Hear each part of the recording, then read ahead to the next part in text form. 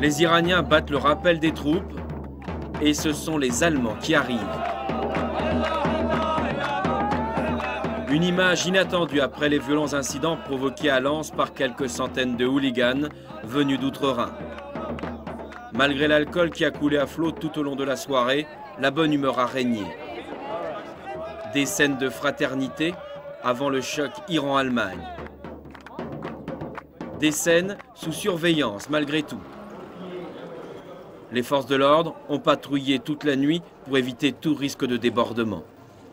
Vers minuit, certains cafetiers ont préféré fermer leur débit de boisson. On n'a pas peur, pas du tout. Nous, on travaille comme ça toute l'année. Il n'est pas normal que des enfants viennent faire chier. Non seulement ils font chier le monde, en plus on pique des fric. Les taxes, on paie les mêmes. Mais le pognon, on ne rentre pas ce soir. Hein.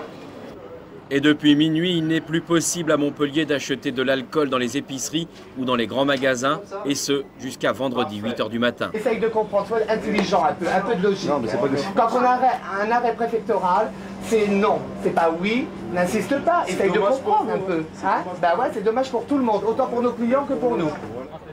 Ce matin, les forces de l'ordre se sont déployées tout autour des lieux sensibles, comme la gare ou les places publiques. Avec les contrôles draconiens réalisés en Allemagne et aux frontières, les autorités semblaient plutôt rassurées. Confiance relative partagée par la police allemande. On ne peut pas prévoir qu'il n'y a pas de casseurs. On est sûr qu'il y en a, mais ils vont se comporter d'une toute autre manière euh, par rapport à Lens. Ce ne sera pas la même chose, ce ne sera pas le même genre de comportement.